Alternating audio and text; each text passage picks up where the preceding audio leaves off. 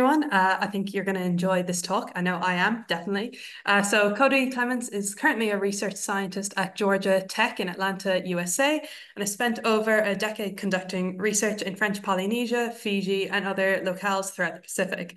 His research interests focus on understanding how coral reef ecosystems are structured and function in a rapidly changing ocean, as well as integrating these insights into conservation strategies that can promote ecosystem health and the systems they provide for coastal communities. So over to you, Cody. Okay.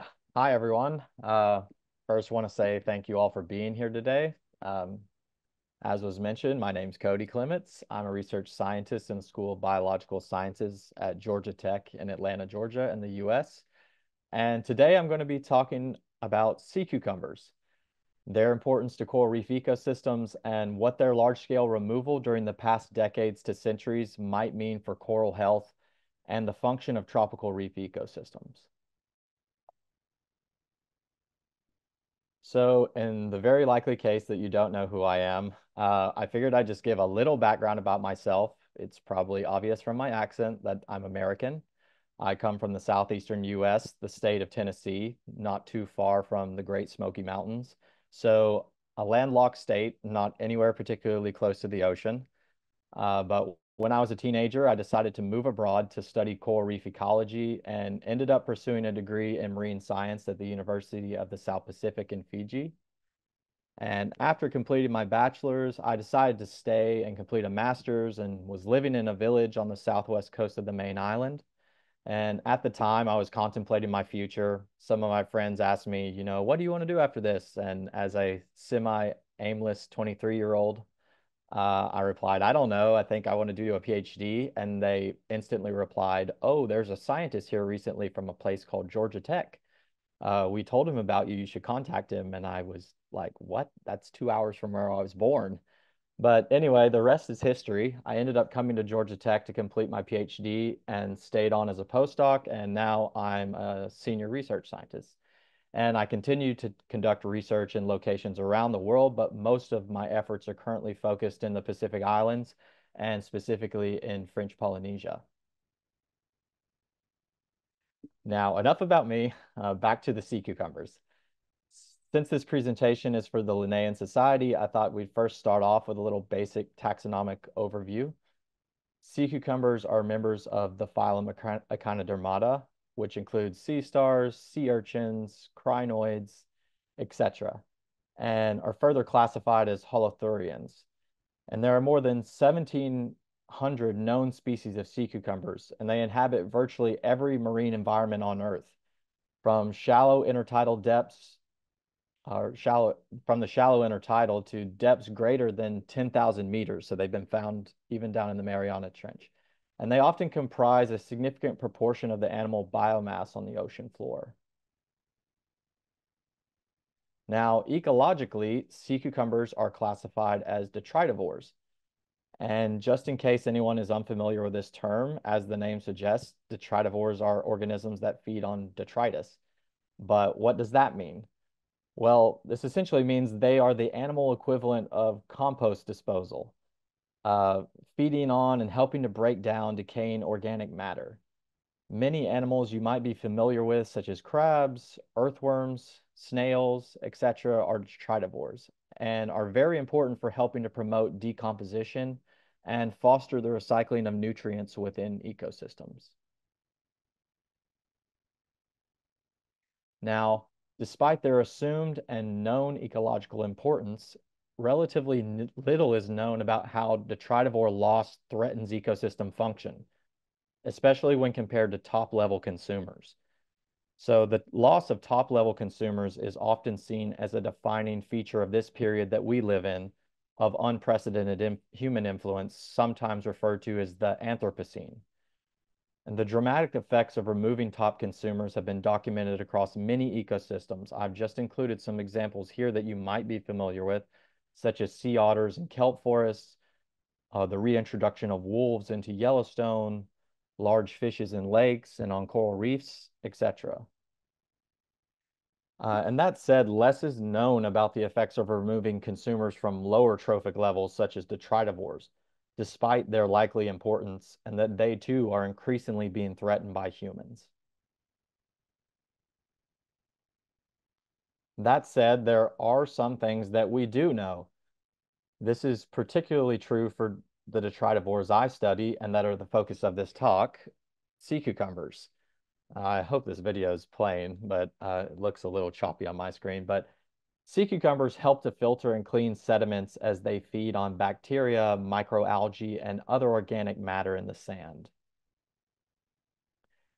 This is why we sometimes refer to them, as the title of this talk suggests, as the janitors of the sea.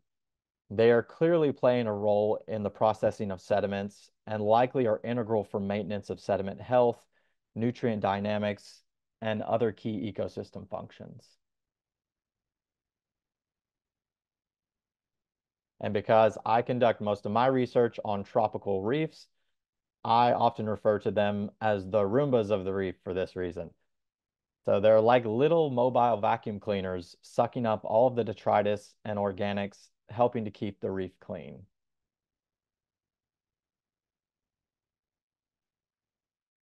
Now, just for some perspective on some things that we do know, we know that sea cucumbers are capable of processing a lot of sediment, a lot.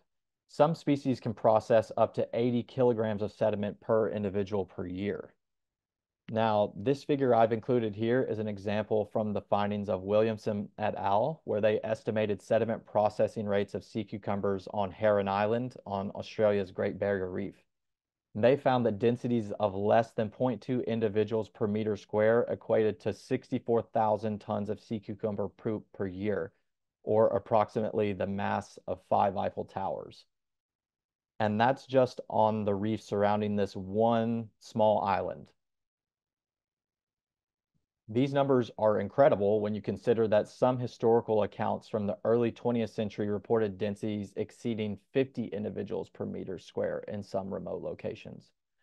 So just think about this in relation to the densities reported in the previous slide, less than 0.2 individuals per meter square and the tremendous amounts of sediment they were still capable of collectively processing at these lower densities. But the sad fact is that we probably don't even truly grasp what we're missing here. Sea cucumbers have been over-harvested for decades to centuries, and this has only ramped up since the late 1900s.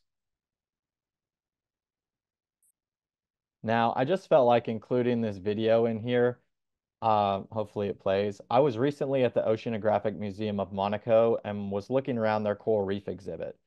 Sea cucumbers were present and cleaning up the sediment throughout their tanks, and it just got me thinking that it seems pretty intuitive that you need the cleaning crew to keep things sanitary, but it's largely just assumed. There hasn't been much in the way of actually experimentally testing this in the wild.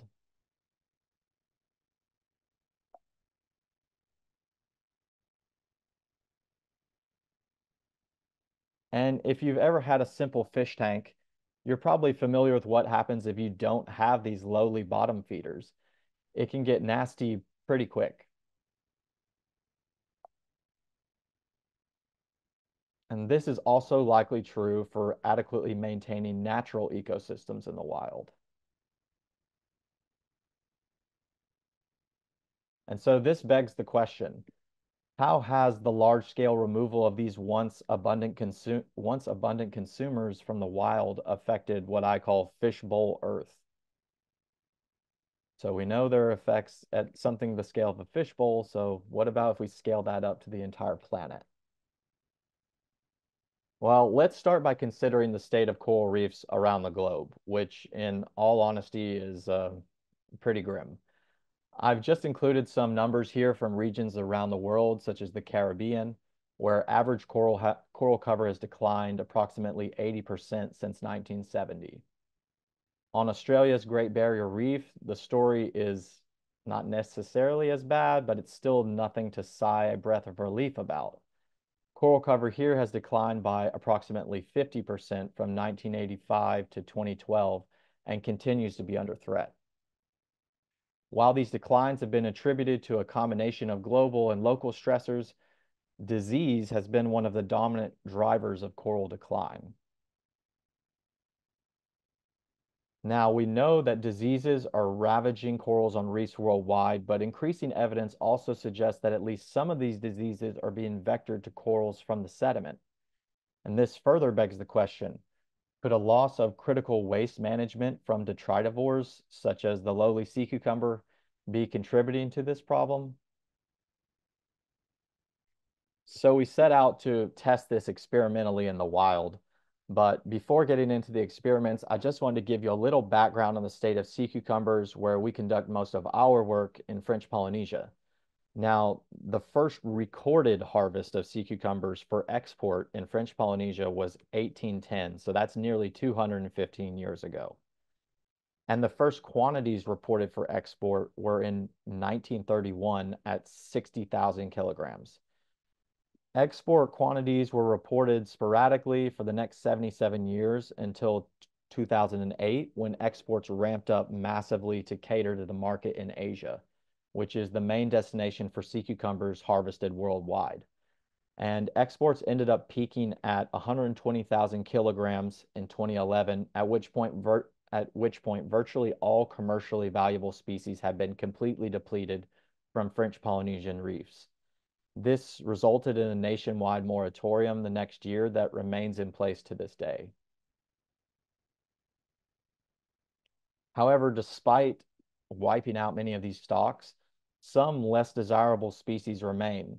There are still some locations where testing this notion in the wild is feasible, and we still see fairly high densities, as many as 23 individuals per meter square, of sea cucumbers on some reefs where we work in French Polynesia, which you can see in this drone video on this slide. And in this case, these are almost exclusively the species Holothuria atra, which is one of the few species that is generally undesirable for eating and which explains why it is still prevalent. And just a little more background here. The impetus for pursuing this line of research actually originated from a series of unrelated experiments where we observed coral outplants dying from the base up when in contact with sediments in areas where we had just so happened to clear sea cucumbers for other experiments. And the coral species we observed this occurring for is a species of the genus Acropora, in this case, Acropora pulchra specifically. Now, this is important because acroporid corals are among the most important reef building coral species on tropical reefs. And as luck would have it, they're also among the most threatened. Now, as I mentioned, the disease we've observed on our corals is reminiscent of Caribbean white band disease. This disease has been involved in the unprecedented decline of Caribbean Acropora corals. There are two species of Acropora in the Caribbean, Acropora cervicornis, which is pictured here in this slide, and Acropora palmata. At one time, these two species were the most abundant and dominant reef-building corals in the Caribbean. However, outbreaks of white band disease in the late 1970s and 1980s killed over 80% of their populations, and both corals are now listed as critically endangered. That's why our observations were so intriguing and why we were so keen to investigate further. And so we decided to test this notion using a relatively simple series of manipulative experiments. We first collected and outplanted Acropora pulchra in natural sand patches in the field where we either regularly removed or didn't remove sea cucumbers. Uh, and then we just monitored the corals for 45 days to see what would happen and we found that corals experienced approximately 370% greater tissue mortality when sea cucumbers were removed, and that the risk of whole colony death was reduced by 94% when sea cucumbers were present. Next, we wanted to test this notion in another location. We wanted to test it with a different species of sea cucumber and a different species of coral to see how general these findings might be. Is this a common effect that occurs? And so we decided to conduct a similar, similar manipulative experiment 3,000 kilometers away on Palmyra Atoll. Now, this remote atoll has no permanent human population, unlike Moorea, where we've conducted our other experiments, but it does have a research station where scientists can conduct research, and it's managed by the Nature Conservancy and the U.S. Fish and Wildlife Service. So we're getting different species, a different kind of island, a different amount of human influence. However, the lagoon on Palmyra Atoll was heavily damaged by U.S. military activities during World War II. Um, but it does have some corals starting to recolonize in some areas. So for our experiments, we decided to use a different species of Acropora, in this case, Acropora nasuta, and a different species of sea cucumber that's common within Palmyra's lagoons. In this case, Stichopus chloronotus. And we found that coral mortality was significantly reduced when corals were not directly contacting the sediment or when sea cucumbers were present. So if they were touching the sediment and they didn't have sea cucumbers present, it's bad. But if you add the sea cucumbers into their enclosure, they are helping to clean the sand and the corals survive better. And we've also run subsequent experiments in French Polynesia, again, on the island where we work mostly, Moorea, uh, to try to determine whether and to which extent microbial pathogens might be contributing to the coral disease that we're observing.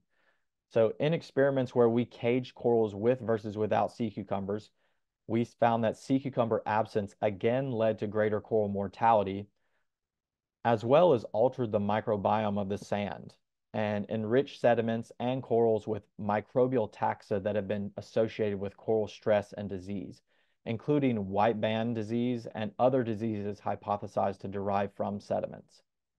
And you can see from the video um, how dramatically the substrate changed when sea cucumbers were absent. You can see this layer of greenish gook, uh, as well as the corals exhibiting this characteristic white band of death that travels from the base of the colony up. That said, we don't know whether these microbes are the causative agents of disease or they're just opportunists taking advantage of it. But this is something that we're actively investigating.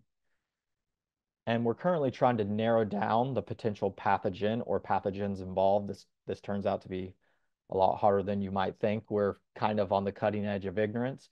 Um, but we have found evidence for disease suppression when corals are administered two broad spectrum antibiotics. So in this case, gentamicin and ampicillin, which coincidentally were also able to suppress white band disease in Caribbean corals.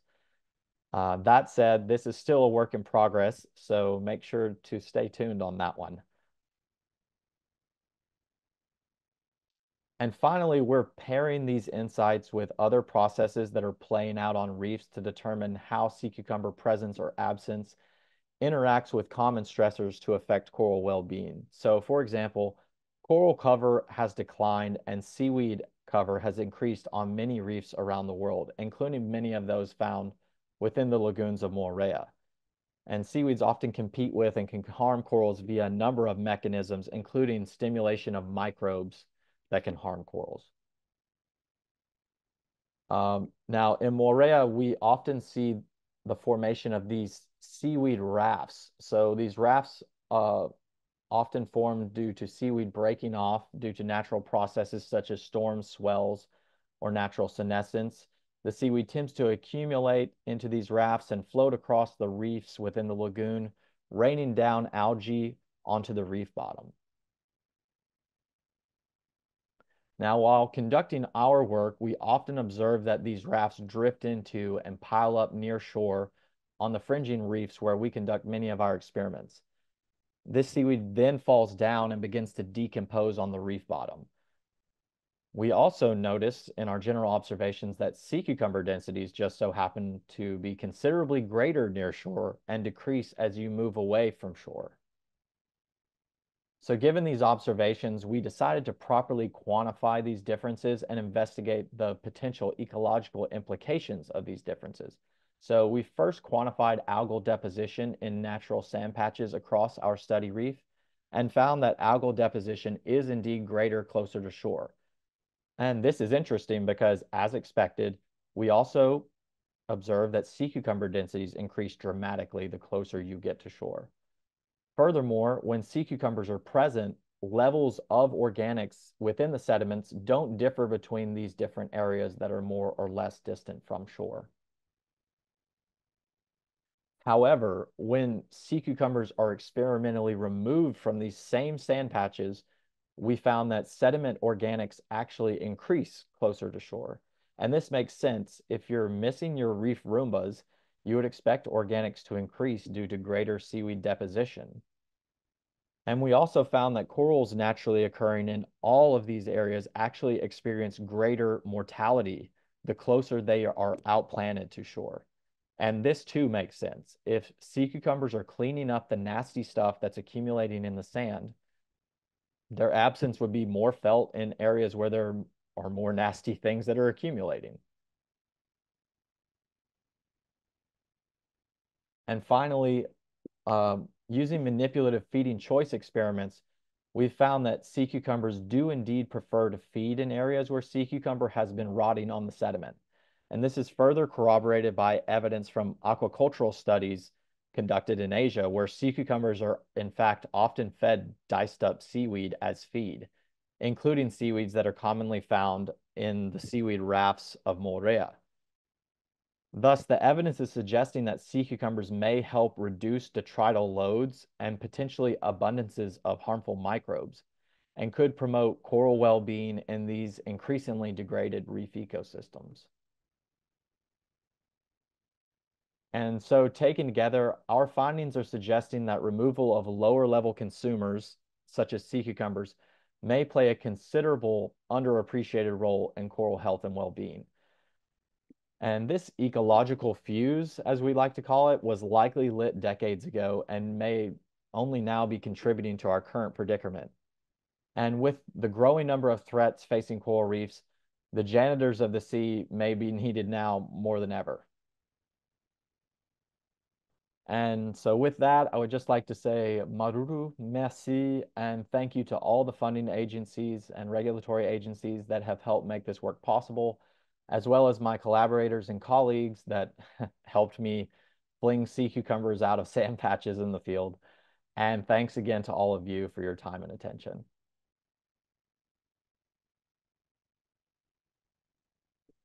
Thanks so much, Cody. That was brilliant. Thank you. So we have a couple of questions in the Q&A box. So first off from Ellen, uh, we have, other than humans, what else eats sea cucumbers? Uh, that is a very interesting question. Uh, we, in many ways, don't know. It, it depends on the species. Many sea cucumbers are have highly toxic properties, essentially. Uh, you know, I would say there are probably some species of fish and potentially octopus, things of that nature, but we in in the case of where we work in Moorea, we don't find any clear predators of the sea cucumbers that we work with. We've actually that was one of the hypotheses we tried to exclude we, of why they might be more abundant near shore. We said, oh, maybe their predators are further out. So we took some out deeper, closer to the reef crest and dropped them out there and monitored what would happen to them. Nothing seems to prey upon them. Um, it is also possible that whatever did used to prey on them it has been depleted mm-hmm. drastically. So I'll give an example. We have a coral predator that is in the Pacific called the crown of thorns sea star. They are a big problem. They used to have a very common predator, the Triton trumpet, which is the Pacific conch. Mm-hmm. Uh, and those have virtually been wiped out from most Pacific reefs. So their main predator, at least when they're adults, doesn't really exist anymore. Mm-hmm. And that's what's caused their numbers to just explode in many ways because nothing is regulating their populations. So, yeah, like I said, it depends. Some sea cucumbers clearly probably have predators. They uh, we have another species that you only see it at night, and mm-hmm. it comes out of the reef during the night. So, yeah, um, Cool. The answer is it depends, and we don't know a lot about it. So uh, it's amazing how much we don't know. The, the more I've delved into the literature on sea cucumbers, the more I'm like, wow. I guess it doesn't help that they're not traditionally charismatic. Yeah, exactly. Exactly. They're they're not everyone's favorite animal. Sure. Justice for sea cucumbers. yeah. yeah, unfortunately, they are the fact that humans do like to eat them, they're not exactly hard to catch. So, Mhm. Yeah. All right. So Andrew asks, what is the effect of the sea cucumber poop on the environment? Does it not affect the corals, or are they actually a cleanser, and how so?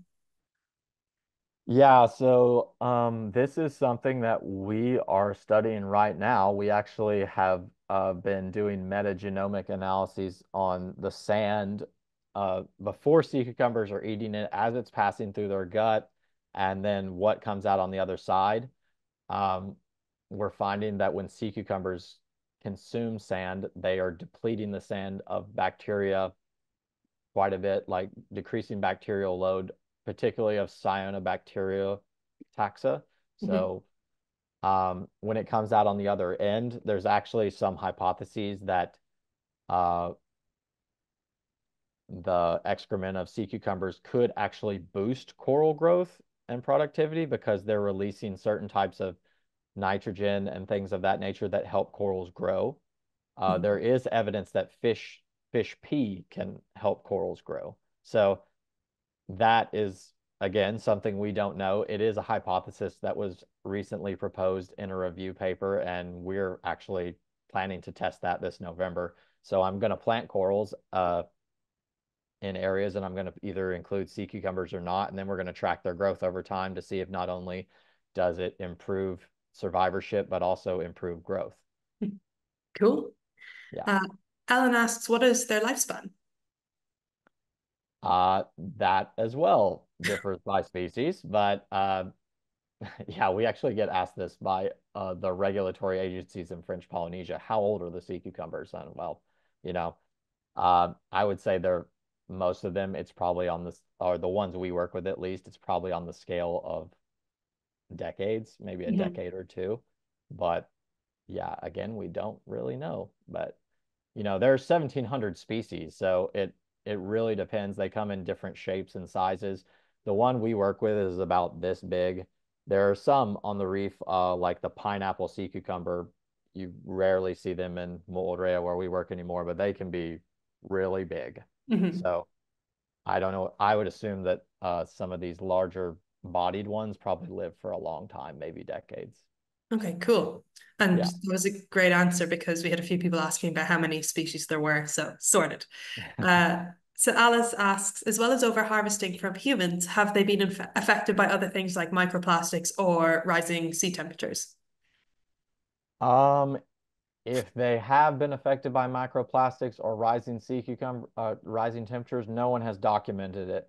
Uh, the only things I know of, which we are also planning to do some experiments on, it's opening up a whole area of research, is I know they've been used as, or people have tried to use them as bioindicators of heavy metal toxins. Mhm. So there are some studies that have been done in Southeast Asia where they sampled sea cucumber tissue and they found that um, heavy metal toxins were elevated in their tissues. For example, near areas close to where mining discharge was being put out into the ocean. Mhm. So we are actually wanting to test um, whether they accumulate specifically toxins like arsenic, because these seaweed rafts that I was talking about, these are a big problem in the Caribbean, uh, because you have big rafts of a particular type of seaweed called sargassum that are washing into beach areas Mhm. uh, all throughout the Caribbean. And people, you would think, oh, like collect it and use it as fertilizer, but it's very high in arsenic.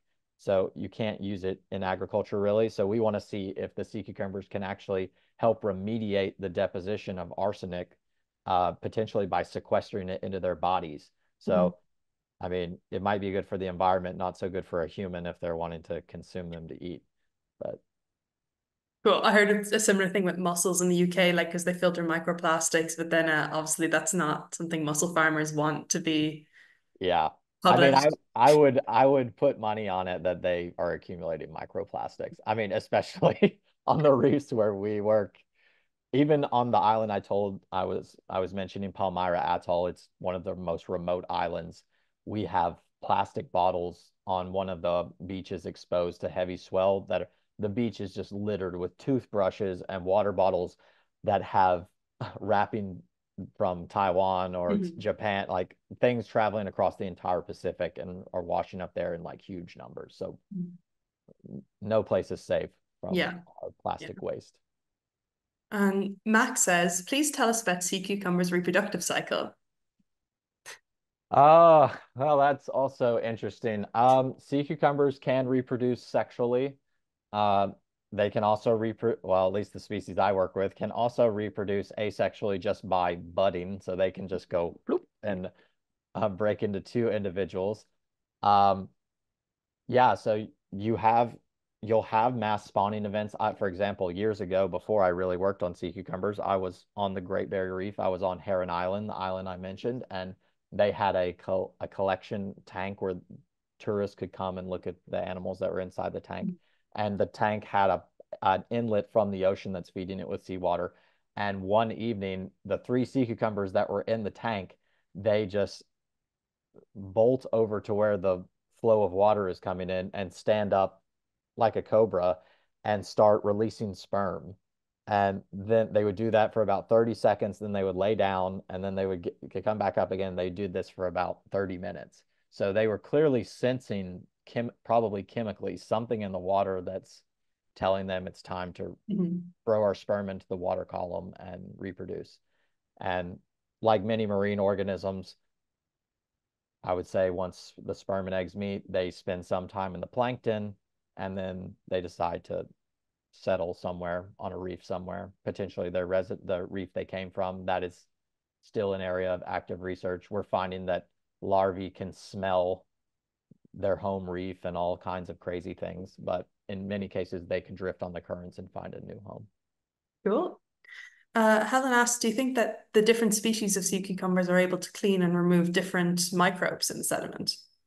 Yeah, that's so that's a that is something we're very, very interested in because you know there are there are approximately 20 species of sea cucumber that are known in French, the lagoons of French Polynesia. We're working with one species. And so my research besides sea cucumbers has mainly focused on coral biodiversity and how the biodiversity of corals impacts coral reef communities. So I'm kind of like a glorified coral gardener. I plant corals in mixed species communities or single species and look at how it affects their performance.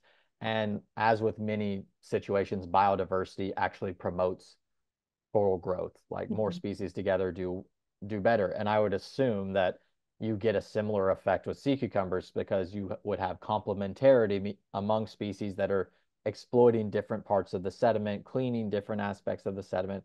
Um, so yeah, as I mentioned earlier, we have actually found that on the reefs where we work, there's another species of sea cucumber that only comes out at night and comes out in very high densities. So we we're trying to design experiments where we can test with them and potentially one other species that we it's really hard because all of them have been depleted so badly but we want to run some experiments in enclosures where we have multiple species present mm-hmm. or only a single species and see how it affects the sediment microbial communities as well as how it affects coral survival and the microbe the microbiome of corals etc but yeah, this is an area we're super interested in. Cool. Uh, Ken wants to know, do they eat live seaweed as well? And would they graze on species like seagrass? Uh, they, to my knowledge, they do not eat. Well, it also, yeah, it depends on the species, but the ones I work with and the ones I'm familiar with, uh, they do, they basically only filter sediments. They're eating microalgae that's within the sediment. Um, but in terms of just going up like an herbivore and chewing on seagrass and on seaweed, not really. So um, the studies I mentioned, the aquaculture studies, they dice the seaweed up for juvenile sea cucumbers to very, very, very small. It's like essentially almost like a powder form, and then spread it in the cage on on the substrate, and that's how they that's how they feed. So yeah, I'm not familiar with any of them going up and just explicitly mm-hmm. eating a, a frond. Yeah. yeah. Cool. Uh, so then there's a few questions from Helen, Guy, and Sandra. It was all about like, can they be farmed? Why do people eat them? Uh, do they taste good? Any claimed health benefits? Um, yeah, so they can be farmed. Sea cucumber aquaculture is a is a big and increasingly big thing in Asia and in the Caribbean. Um, I mean, we want to actually promote that if possible to so that we're not taking wild ones out of the ocean that you know we want their populations to be sustainable at some level. Um, yes, they can be eaten. They are a delicacy in China. It's kind of like shark fin is a delicacy over there. Um, they are purported to have medicinal and other properties. Like I think some of them are used as aphrodisiac. Um, so yeah, I've actually had sea cucumber. I had it about I think 10 or 12 years ago in Fiji because technically there is like a, a restaurant that I went to with some of my friends that is traditional Fijian food. You don't really see sea cucumber as something people eat these days, but it was on the it was on the menu, so I just said, oh, okay, I'm just gonna try it. Uh, can't say that it was my favorite thing I've ever eaten. It was kind of like a soggy, squishy bread, essentially. So I, I don't see the appeal, but you know, there are species that uh, go for unbelievable prices, like the ones that are, I'll, I'll give you an example. I've been trying to do work in the Florida Keys. And so I realized, wow, we don't really know anything about sea cucumbers in the Florida Keys. And then I just discovered through newspaper clippings uh, that there was a, an individual about 10 years ago who was trying to start a business to export sea cucumbers to Asia. And the plan, and it was a feasible plan, he was pushing back against regulation that they were thinking of implementing. It was selling them for over $200 a pound. So yeah, and in certain sea cucumbers, like there's a sea cucumber that's highly prized from Japan, they can go for over thirteen hundred dollars US dollars per kilogram. Hmm. So yeah, this is like biological gold. Yeah. some ways. And I imagine like just it's really difficult then to stop the trade unless you offer the people who are fishing for them something that is yeah. going to be, if not equivalent, at least close enough that yeah. they're not getting screwed over either. Yeah, there are a lot of study a lot of studies that have looked at the the seaweed or sea cucumber trade in Mexico and other parts of Latin America. And it even the cartels are involved in it. And and it's just crazy because local fishermen are only getting like a dollar mm-hmm. per kilogram, less than that realistically, but they're they are desperate to have a form of income. So, you know, telling them they can't go fish this is really hard. On the by the time it gets through the middlemen on the back end, they're making loads of money on it. But there are many places that are already like the the populations have collapsed. Yeah. And it happens very quickly. Like as soon as they've identified an area, you know, it's got probably less than 10 years before it's mm-hmm. it's wiped out. Sucks. Yeah. yeah.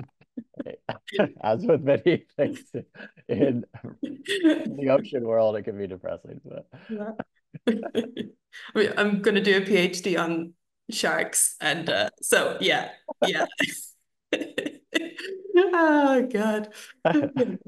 So keep, Julia, keep, keep keep fighting the good fight. Yeah, like please, guys, Please stop. That's, that's why that's why I'm trying to bring a little notoriety to them. Actually, uh, National Public Radio (NPR) in the U.S. did an interview with me for All Things Considered. It's like one of the main podcasts for NPR, and they put it on their Instagram. And the number of comments from just common people that were like, "Wow, the world's going to going to hell, but sea cucumbers rock," and like, know, getting them a little publicity they need it. we'll get there. We're doing our bit. Yeah. um, so Julianne asked, could they be compared to the earthworm? I guess that's in terms of their ecological function and, and importance. Yeah, absolutely. They that they often are compared to earthworms. So uh, they play a, a, similar role, and they also, uh, you know, aerate sediments. They help mix sediment up to, you know, bring up different layers that are being supp suppressed under the mm-hmm. surface, essentially. And some species don't live on the surface like Holothuria atra, the one I work with. Some of them just stay bur burrowed in the sand. And you might see them periodically, but they're they're basically going through the sand like an earthworm does through dirt. Cool. Yeah. And then finally, we have Annabelle who asks, in terms of coral health, is it possible to estimate the relative effects of reduced sea cucumber density and ocean warming? Oh boy. Um, is it possible? I yeah, I think it it might be possible with sufficient funds and uh, human work power, but uh, we've still got a long way to go. We've basically just opened opened Pandora's box on this, and um, you know, there are some places like where we work that we can test this with a single species, but I think it's going to be very hard to turn back the clock to understand just, you know, how important the, I mean, it's the equivalent of going out into the Great Plains of the U US and being like, huh, how does this ecosystem work when 200 years ago there were millions of mm-hmm. upon millions of bison roaming the Great Plains and now they're all gone. It's a fundamentally altered ecosystem and trying to really recapture well what how what would happen with bison if they were still here? It's it's possible i mm-hmm. guess in to mentally simulate it but in terms of experimentally showing it, it it's a lot more difficult. Yeah uh, and then I just want to ask, like I've seen sea cucumbers diving and snorkeling like around the UK and Ireland. Do you think these results could be applicable to temperate and say deep sea ecosystems? I mean, yeah, I I I would put I, I would put money on it probably that just like in coral reefs, how they are helping to maintain important functions within coral reefs, that they are also carrying out important functions in these other ecosystems in terms of recycling new helping to recycle nutrients and keep sediment health proper. I mean we coral reefs aren't the only places facing uh, issues with disease. I mean seagrass there are issues with diseases among seagrass in temperate um, ecosystems not just uh, you know things of that nature like sea star wasting disease. I don't know if they're particularly linked to that but we're basically just we're seeing the rise of marine diseases that mm-hmm. are decimating all kinds of organisms, not just corals. I mean, one of the biggest die-offs, disease-related die-offs in history that we are aware of is the die-off of the diadema sea urchin in the Car- in the Caribbean. Mm-hmm. So, you know, in the same time period when these two species of Acropora corals that I mentioned were being wiped out across the Caribbean, uh, the main herbivore of Caribbean reefs, the sea urchin, was also being decimated, and over 90% of them died off within, you know, less than a 15 year period. Yeah. And they haven't fully recovered. And that's a huge deal because we need these herbivores on coral reefs to help keep the seaweed in check. So, mm-hmm. you know, so it all kind of works together. But yes, I do think that they would probably play an important role uh, in other ecosystems. Okay, amazing. Uh, I really enjoyed that. Uh, I think from the questions everyone else did as well, we have Trevor said it was very insightful um, and he loved the presentation. Uh, I mean, for me, selfishly, this is my last day working at the Linnean Society, so couldn't have thought of a better lunchtime lecture to go out with. Um, so thanks very much. Thanks to everyone who logged on. Uh, make sure to sign up to our newsletter, check out the YouTube channel, all the links I put into the chat. And I won't, someone else will see you next time. Thanks, everyone. Thank you. Thanks, Cody. Enjoyed it. Thank you.